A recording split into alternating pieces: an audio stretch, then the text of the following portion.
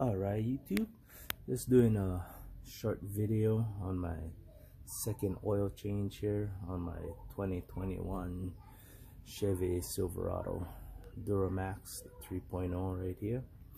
So, some new um, oil, Dexos D. There's a part number there.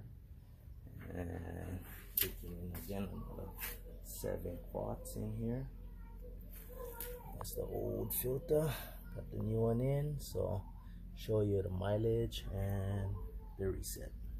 All right. Percent. Reset. Show on a reset? Yes.